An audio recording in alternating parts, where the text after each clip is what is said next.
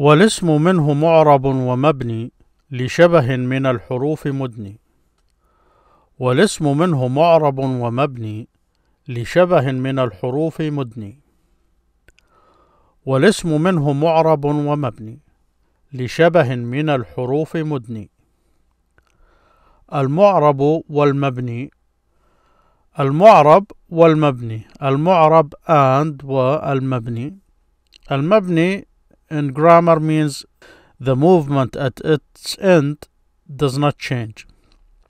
Al-Mu'rab is a word that whose end changes or the short vowel or the uh, letter uh, changes at its end depending on its position in the sentence. So, walismu and the noun minhu, from it, mu'rabun wa mabni. The noun, a part of it منه from it in this context a part of it is معرب so a part of nouns is معرب so it ends goes through changes depending on its position in the sentence ومبني and مبني it has a fixed ending so that's the two divisions of a noun. It could have its end changing depending on its position or it's fixed. لشبه من الحروف مدني لشبه لي for شبه a likeness لشبه for a likeness من الحروف من is from الحروف the letters الحروف in this context to الحروف لشبه من الحروف uh, for a likeness to the letters مدني مدني is something that brings something closer to something else you call it mudni or the bringer of uh, that thing closer so the bringer uh, closer to something is mudni so this likeness for this likeness that bring the noun closer to a letter is what causes it to become mabni. So notice here والاسم منه معرب and the noun part of it is معرب ومبني and has a fixed movement. Why? لشبه for a likeness من الحروف مدني that brings it closer to letters. and we know that meaning letters have fixed movements. Now, remember we are talking about nouns here. So if we have an we have an example here of a noun. So notice this is a noun. معلم, a teacher, masculine singular, teacher, معلم. Now notice these red movements or has that has the color red. These are the movements that you would see with this noun because it's mu'rab, meaning you could say, uh, say uh, hear it or read it as muallimu muallima or muallimi depending on its position or it could you can hear it or read it as mualliman or muallimun or muallimin so that's how the end of this noun changes. In this case, an adjective. So the feminine also the same thing. معلمة معلمتي معلمة or معلمة معلمة or معلمة. Notice these are the changes there. For the sound feminine plural, you only get these the معلمات معلمات or معلمات or معلمات. This is special for this uh, sound feminine plural. It does not take this a or an there.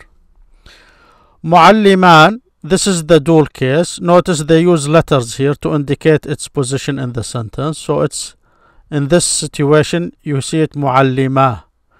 This a here, this uh, this letter in red, that's the mark for its position in the sentence. For the dual, masculine. Here, here is the feminine معلمتان. Notice this a there. This an is always with the dual but it gets dropped in certain situations. So just focus on this mark now.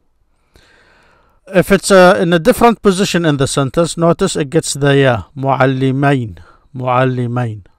if it's feminine معلمتين two teachers in both cases here for the sound masculine plural you notice they use the u there to indicate its position so معلمون or معلمين depending on its position it takes this u or this ya here.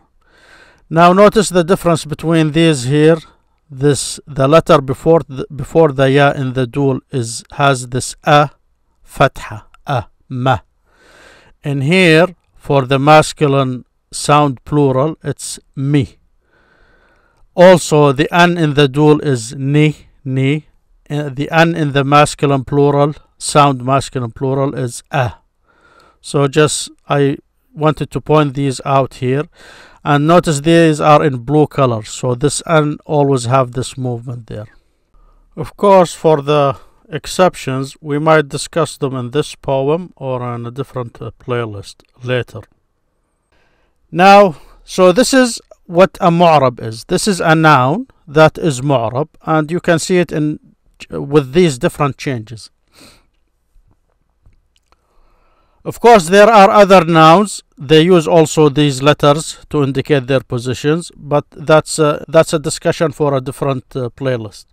Now, al-mabni, in the second verse or the next verse after this, they will go into detail of what is this likeness that causes the noun to be similar to a letter. And that's why it ends up with a fixed movement. So here we have an example of nouns. They're considered nouns the uh, by the grammarians, but they are ha they have fixed movement. That is mabni. So they are fixed. Mabni means built. The literal meaning of it is built. So it's like it's a fixed building. So it's built that way.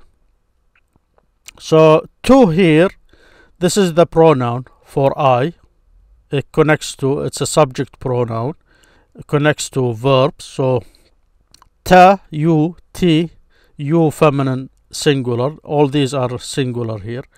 So these here are pronouns and notice they're all formed by one letter here except for this one has two letters.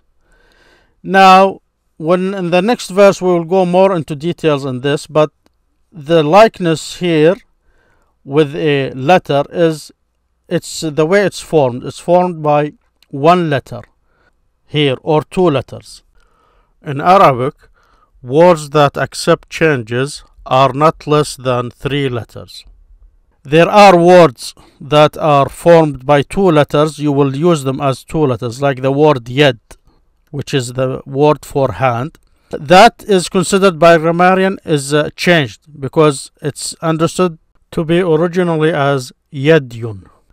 Yedyun and they say the ya was dropped and that's why it's yet that's the way you use the word yet the reason for that of course is uh, you will see this back in a different form of this uh, noun.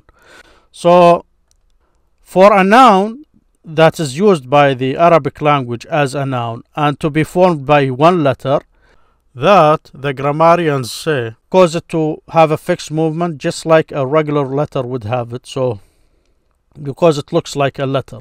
So that's one explanation of it. So it's like a letter in that sense. Now, another way that uh, a noun will be similar to a letter or a meaning letter is in meaning. So these are different ways in which a noun is like a meaning letter. So the form of the noun and its meaning help make it similar to a letter or a meaning letter. So here, the and the. These are demonstrative nouns. So the, the. So if you are pointing at a girl, you say the, or a boy, you say the. Now, most of the time you will see this with the ha. هذا, this, هذه, this. So this word here is the original word is the or the but the grammarian said this ha is added as a, to bring attention so it's not original. So this here are an example of a noun a demonstrative a noun. Oh, this also has a fixed movement there. Another example is these connecting nouns they call them. So alladhi allati alladhina ma man. This is just an example of these connected nouns. So الذي, the one who, التي, the one who, feminine, singular. الذين, the ones who, masculine, plural.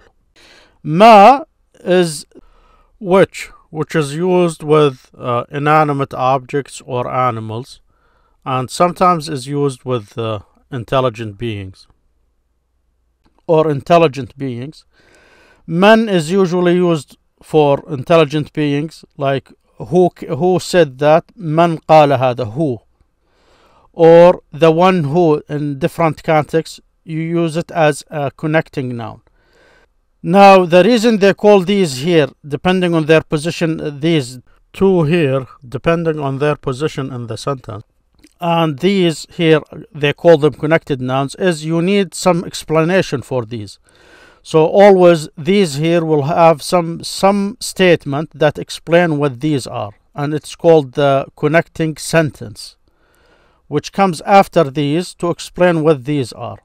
So that's why they give them this description a connected noun.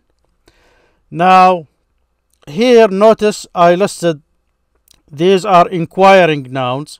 Notice they are the same as these here. So this is man ma, man, ma. But here they are used as an inquiry noun, depending on their position in the sentence. So you say, who said that? Man qala hada. Or if I say, the one who said that told me, now it becomes a connecting noun. So depending on how you use it, the description changes. But these also are example of nouns. They're, these are considered nouns. And they are examples of nouns that have mabni, a fixed. They are called mabni, meaning they have a fixed movement. So I will read this verse again. والاسم منه معرب ومبني لشبه من الحروف مدني والاسم منه معرب ومبني لشبه من الحروف مدني والاسم منه معرب ومبني لشبه من الحروف مدني.